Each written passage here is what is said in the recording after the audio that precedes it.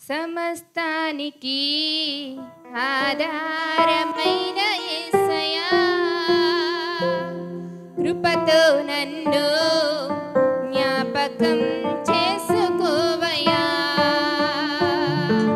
సమస్తానికి